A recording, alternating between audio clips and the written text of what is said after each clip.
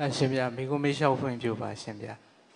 ဒီတပည့်တို့တို့ဒီဟိုပါဗောနော်ဟိုလိုက်နာနေတဲ့ဒီဟိုဖះဟောခဲ့တဲ့ဗောနော်ဒီမြစည်းမပရိပရာအလေလက်လန်းဆိုတဲ့ဟာကဘာလို့ဆိုလိုတာပါလဲဗျာတပည့်တော်ကတော့ဒီဟိုအစွန်းနှစ်ပါးကိုရှောင်တယ်လို့ဟိုဖြေလိုက်တယ်ဗောနော်ဒီပုံကိုတယောက်ကိုမေးတဲ့အချိန်မှာအဲ့တော့ तू ကမေးတယ်ဗောနော်ဘယ်အစွန်းနှစ်ဖက်ကိုရှောင်တာလဲဗောပြီးတော့ तू ပြောပြောတဲ့ဟာကြတော့ဒီဖះဆိုရင်တော့ဖះက तू ကဒီ ဟိုဒုက္ခရစရိယာကိုကျင့်ရတယ်ပေါ့နော်ကျင့်ပြီးတော့မှဟိုမြစီမပရိပရာကိုရောက်တာဖြစ်တဲ့အတွက်တဲ့အဲ့အစွန်းအလဲလက်လန်းကိုရောက်ချင်အစွန်းနှစ်ဖက်ကိုအရင်သွားရမယ်ပေါ့နော်သွားပြီးတော့မှရောက်မယ်လို့ပြောပါတယ်ခင်ဗျာအဲ့ဒါဟုတ်ပါသလားရှင်အဲမဟုတ်ပါဘူးနော်ဘုရားဒုက္ခရစီရကျင့်တာကသူ့ဘာသူနော်လမ်းမာတာပဲရှိတာလေဟိုဓာကြီးကိုကျင့်လို့ဘုရားဖြစ်တာလည်းမဟုတ်ဘူးလေနော်မေဇမပฏิပဒါဆိုတာကဓမ္မစကြာတုတ်ကိုပဲကြည်ပါနော် မဂ်ကင်၈ပါးတရားကိုပြောတာပါနော်အထင်ကြီးကောအရိယာမေခောဆိုတာအဲ့ဒါမေဇိမပရိပဒါပါပဲတိတိကျကျဘုရားကိုယ်တိုင်ဟောတာလားနော်တမ္မာဒိဋ္ဌိတမ္မာသင်္ကပ္ပတမ္မာဝါစာတမ္မာကမ္မရာတမ္မာအာဇီဝတမ္မာဝါယမတမ္မာတတိတမ္မာတမာတိဒီ၈ပါးကိုပဲနော်မေဇိမပရိပဒါလို့ခေါ်ပါတယ်အဲ့တော့လူတွေကတော့အာဒီမေဇိမဒီဒီဓမ္မစကြာမှာပြောနေတဲ့အစွန်းနှစ်ဖက်ကိုကြည့်ပြီးတော့ပြောကြတာပေါ့နော်အတ္တကိလမထနဲ့နော်ကာမတုခန္တိကနုယောကအတ္တကိလမထဆိုတာကကုသိုလ်မရဘဲနဲ့ ခန္ဓာကိုယ်ပင်ပန်းတာပဲအဖတ်တင်တယ်နော်ဟိုတချို့အယူဆတွေကရေထဲမှာဆင်းငုံနေလို့ရှိရင်ရေနဲ့အတူအကုသိုလ်တွေမျောပါသွားတယ်ပေါ့ယူဆအဲ့တော့တမင်တကာအပင်ပန်းခံပြီးတော့အေးရရာဒီမှာရေထဲမှာဆင်းငုံနေတာတကယ်ကုသိုလ်ရတာဆိုကုသိုလ်မရအောင်ခန္ဓာကိုယ်ပင်ပန်းတာပဲအဖတ်တင်တယ်နော်အဲ့တော့ကုသိုလ်ရတဲ့လုပ်ငန်းကိုအပင်ပန်းခံပြီးလုပ်တာကအတ္တကိလမထမခေါ်ဘူးနော်ဒါလည်းနည်းနည်းစကားဆက်လို့ပြောတာဥဒ္ဒရငယ်ငယ်တော့လည်းအဲ့ဒီဟာမကွဲတာလေ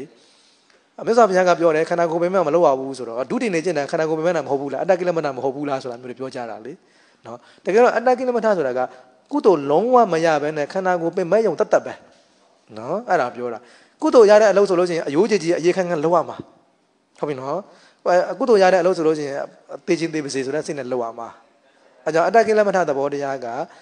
ပင်မနာပဲအဖက်တင်တယ်ဘာမှကုသိုလ်မရတဲ့အလုံးငန်းအတ္တကိလမထ ကာမတုခံလူကနေယောဂဆိုတာလည်းဇိမ်ခံတတ်တတ်ပဲသူကလည်းနော်ဇိမ်ခံတတ်တတ်ပဲအဲကြောင့်မြတ်စွာဘုရားရဲ့ဝါဒကသူကနတ်ဆုံးမရောက်ဘူးဆိုတာကအဲ့ဒါပဲနော်ဟိုဇိမ်ခံလန်းကိုလည်းမလိုက်ဘူးခန္ဓာကိုယ်ပင်မနဲ့လန်းလည်းမလိုက်ဘူးနော်အပင်မမခံဘူးလို့ပြောရင်လည်းမှားတယ်နော်အပင်မမခံပြောတာမဟုတ်ဘူးကုသိုလ်မရတဲ့အလုံးနဲ့ပတ်သက်လာရင်အပင်မခံစရာမလိုဘူးလို့ပြောတာ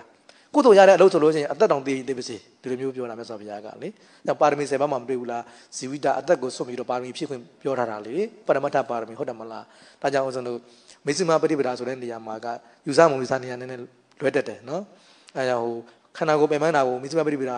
မဟုတ်ဘူးလို့မပြောနဲ့ဟဟလား။ကုသိုလ်မရတဲ့အလုပ်ကိုမှမေစုမပฏิပဒါမဟုတ်ဘူးလို့ပြော။ကုသိုလ်ရတယ်ဆိုလို့ချင်းပင်ပန်းမစေဒါမေစုမပฏิပဒါပဲနော်။အဲကြောင့်မေစုမပฏิပဒါကိုတရုပ်ဖော်ရင်တော့တိတိကျကျပြောရင်မေခင်ရှိပါတရားဟာမေစုမပฏิပဒါဖြစ်တယ်။အစုံနှစ်ပါးတော့ခုနကဥစ္စာပေါ့နော်အဲ့တော့မြတ်စွာဘုရားပုံမှန်ဦးဇင်းတို့ကျောင်းတိုင်းမှာဆိုရင်ဟိုရဟန်းခံလို့ရှိရင်အများနဲ့ပြောနေရှိတယ်ဘာလဲဆိုတော့မြတ်စွာဘုရားက စွန်းမစားတာကိုလည်းမကြိုက်ဘူးကာမဂုဏ်ခံစားတဲ့အနေနဲ့စားတာလည်းမရမကြိုက်ဘူးဟုတ်လားစွန်းလုံးဝမစားရင်လည်းဒါအတ္တကိလမထဇိမ်ခံပြီးစားပြန်ရင်လည်းဒါအတ္တကာမတုခံတွေကနေယောဂအဲ့တော့မစားဘဲလည်းမနေနဲ့စားရင်လည်းပိဿဝကနာဆင်ကြီးပြီးစားပါဒါ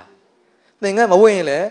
အဆုံးတစ်ဖက်ရောက်သွားတယ်သင်္ကန်းဝတ်တဲ့ခါမှာလည်းဇိမ်ဟိုအလှပကိုမက်ပြီးဝတ်ပြန်ရင်လည်းအဆုံးရောက်သွားပြန်တယ်ဒီတော့မိုးပဲလည်းမနေနဲ့အလှပလည်းမမတ်နဲ့ဝတ်အေးအပူမြတ်တောက်အောင်ဝတ်ဟုတ်လားအဲ့သဘော နော်ဆိုတာဒါမေစုမပိရိယသဘောဒါလောကသဘောနဲ့ပြောတာနော်တကယ်တကယ်တရားသဘောရမေစုမပိရိယဆိုတာတော့မဲခင်ချစ်ပါပဲဒါခုနကဟာကလောကသဘောနေနဲ့မေစုမပိရိယကိုပြောပြတာနော်အဲ့တော့မစားဘဲနေရင်လည်းအဆုံးရောက်သွားတယ်